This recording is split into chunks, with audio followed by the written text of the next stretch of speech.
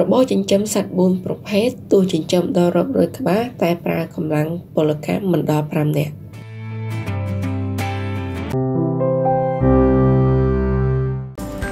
កម្មវិធីគ្រប់គ្រងអាជីវកម្មបែប Digital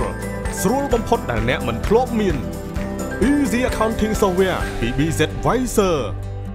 ចានៅក្នុងវីដេអូនេះខ្ញុំនឹងនាំបងប្អូនទៅស្គាល់ ប្រភេទសត្វទាំង4ដែលវាល្អមែនតើសម្រាប់អ្នកដែលគាត់អត់ចង់ប្រើប្រាស់កម្លាំងពលកម្មច្រើនឬក៏គាត់គិតថាស្រឡាញ់វិស័យកសិកម្មដែរប៉ុន្តែពិបាកនៅក្នុងការងាររកកម្លាំងឬក៏រកកម្មករមកមើល ហើយមួយវិញទៀតដោយសារតែស្ថានភាពសេដ្ឋកិច្ចពីណាក៏ចង់កាត់បន្ថយការចំណាយដែរអញ្ចឹងថ្ងៃនេះខ្ញុំនឹងណែនាំបងប្អូនឲ្យស្គាល់នៅប្រភេទសត្វ4ដែលបងប្អូនអាចចិញ្ចឹមដល់រាប់រយក្បាលដល់ពី300ក្បាលប៉ុន្តែបងប្អូនអាចប្រើកម្លាំងពលកម្មត្រឹមតែ2នាក់ប៉ុណ្ណោះហើយវាសមស្របបំផុតសម្រាប់អ្នកដែលចង់ចាប់ផ្ដើមជាលក្ខណៈគ្រួសារយើងអត់ចង់ចំណាយទៅលើថ្លៃពលកម្មទេយើងចង់ធ្វើតែពីអ្នកប្រិយប្រពន្ធឬក៏បងប្អូនរបស់យើងអញ្ចឹងយើងអាចធ្វើឲ្យបានទោះបីជាយើងអាចពង្រីករហូតដល់ដល់ខ្ទង់100ក្បាលតែយើងនៅតែអាចគ្រប់គ្រងបានហើយសត្វទី1ហ្នឹងគឺជាប្រភេទសត្វកបីកបីនេះបងប្អូនដឹងហើយថា ភាគច្រើននៅក្នុងប្រទេសកម្ពុជាយើងគឺយើងចិញ្ចឹមតាមបែបធម្មជាតិអញ្ចឹងការដាក់តែចិញ្ចឹមតាមបែបធម្មជាតិគឺវាអត់ទៀមទីឲ្យយើងធ្វើការដាក់ចំណីលាងសម្អាតខ្លួនវាទេគ្រាន់តែថាយើងធ្វើក្រៅទៅគឺយើងប្រឡែងឲ្យវាស៊ីស្មៅខ្លួនឯងជាក់ស្ដែងខ្ញុំបានទៅធ្វើបទសម្ភាសជាមួយនឹងម្ចាស់កសិដ្ឋានចិញ្ចឹមក្របីនៅឯស្រុកបាធាយគឺគាត់ចិញ្ចឹមក្របីរហូតទៅដល់ជិត200ក្បាលក៏ប៉ុន្តែគាត់ប្រើប្រាស់កម្លាំងពលកម្មគាត់ជួលកម្មករឲ្យនៅមើលត្រឹមតែ2នាក់ប៉ុណ្ណោះបងប្អូនដែលក្នុងនោះក្បីរបស់គាត់គឺមានកបីមេរហូតដល់ជាង70ក្បាលហើយនឹងមានកបី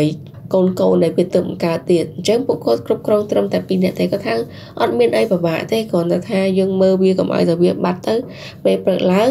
ដកលបងក្រោលវាចេញទៅវាដើរទៅស៊ីចំណីអីខ្លួនវាដល់ល្ងាចឡើងម៉ោង4ម៉ោង5គឺវាចូលមករោងវិញដោយខ្លួនឯងអញ្ចឹងវាមានលក្ខណៈងាយស្រួលហើយរបបចិញ្ចឹមកបីនេះទៀតសោតមិនត្រឹមតែវាស្រួលទេបងប្អូនគឺយើងអាចលក់អាចកបីនឹងទៀត អាចកបីក្នុងមួយការ៉ុងគឺគេទិញមួយការ៉ុងគឺតម្លៃ2500រៀលទាបបំផុត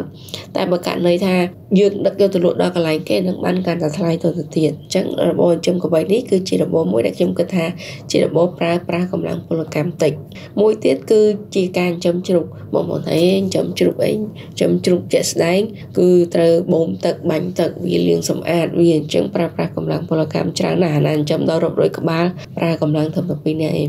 តែជាការពិតបងប្អូនខ្ញុំបានទៅសម្ភារកសិករនៅឯស្រុកមងឫស្សី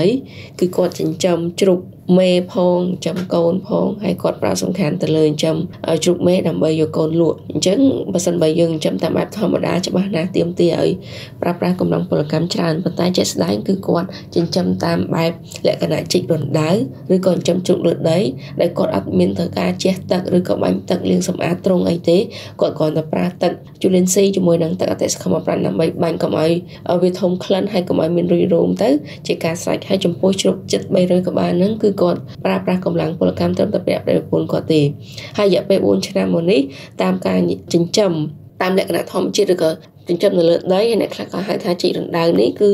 គាត់ថាអត់ដែរជួគាត់អត់ដែរមានផ្ទុកជំងឺទេប្រសិនបើមានបញ្ហាផ្ទុកជំងឺគឺគាត់នឹងឈប់យូរណាស់ហើយពីព្រោះបងប្អូននឹងឯងកាលណាតែជុកផ្ទុកជំងឺគឺមកប្រើគឺអាចថាងាប់ទាំងអស់អញ្ចឹងអ្នកចំណេះអ្នកដែលគាត់ចិញ្ចឹមហ្នឹងគឺមានផលចំណេញទាបណាស់តែគាត់អត់មានបទពិសោធន៍បែបហ្នឹងទេគាត់បានបានកាត់បន្ថយថ្លៃចំណាយទៅលើកម្លាំងពលកម្មទី1ទី2គឺគាត់បានកាត់បន្ថយទៅលើថ្លៃទឹកថ្លៃភ្លើងដែលគាត់ត្រូវបូមសម្អាតត្រង់ហើយមួយវិញទៀតហ្នឹងគឺគាត់កាត់បន្ថយទៅលើថ្លៃវ៉ាក់សាំងគាត់អត់ប្រើវ៉ាក់សាំងហើយក៏អត់ចាក់ថ្នាំទេពីព្រោះថាជួគាត់គឺប្រៀបដូចជាការចិញ្ចឹមតាមបែបធម្មជាតិទៅហើយអញ្ចឹងបើសិនបើបងប្អូនចង់ដឹងពីបទពិសោធន៍ក្នុងការចិញ្ចឹមជ្រូកតាមបែបជីករណ្ដៅបែបនេះបងប្អូនសូមរងចាំទស្សនានៅលើ page Business Cambodia ក៏ដូចជា page Cam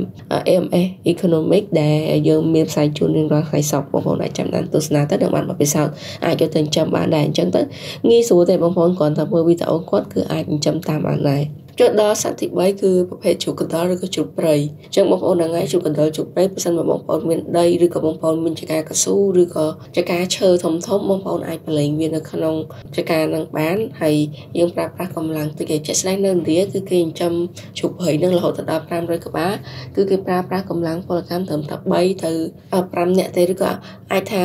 តិចជាងនឹងផងដើម្បីគាត់ថាមើលវាកុំឲ្យវាចូលទៅស៊ីបន្លែបតាគេតែធ្វើឲ្យខាត់បងដល់គេប៉ុណ្ណឹងទេហើយចំពោះការងារផ្សេងទៀតដូចជាដាក់ចំណីអីអត់ចាំបាច់ទេពីព្រោះយើងប្រឡែងឲ្យវាស៊ីតាមធម្មជាតិ ចឹងជុកព្រៃនេះគឺជាជំរើសទី3ជុកព្រៃក៏បានជ្រូកកដុលក៏បានចូលដល់សត្វប្រភេទទី4គឺអតិចកម្មអតិចកម្មហ្នឹងគឺកាន់តែងាយស្រួលទៀតហើយបងប្អូនខ្លះដែលគាត់ធ្វើផ្ទះអតិចកម្មហ្នឹងគឺគាត់អត់ចាំបាច់ជួលមនុស្សឲ្យនៅមើលផងពីព្រោះថានៅក្នុងផ្ទះអតិចកម្មរបស់គាត់ហ្នឹងមានកាមេរ៉ាមើលរួចជាស្រេចនឹងតែភ្ជាប់ជាមួយទូរស័ព្ទគាត់ហើយអ្នកខ្លះផ្ទះអតិចកម្មនៅខ្មែរតែគាត់ធ្វើការងារនៅកូរ៉េឬក៏នៅ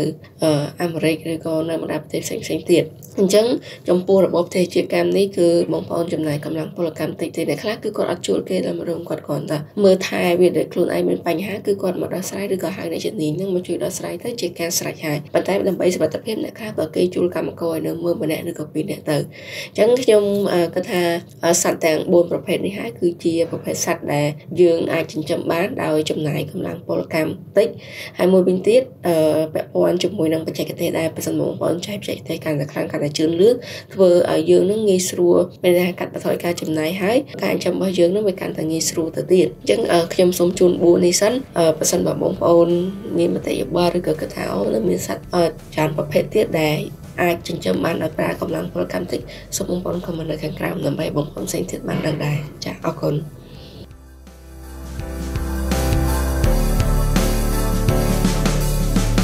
អាជីវកម្មមានបញ្ហាហើយកំពុងស្វែងរកដំណោះស្រាយពួកយើងជាអ្វីដែលអាជីវកម្មរបស់លោកអ្នកកំពុងត្រូវការ BZ Advisor ផ្ដល់ជូនកម្មវិធីគ្រប់គ្រងអាជីវកម្មតាមប្រព័ន្ធកុំព្យូទ័រល្អដាច់គេក្នុងប្រទេសកម្ពុជា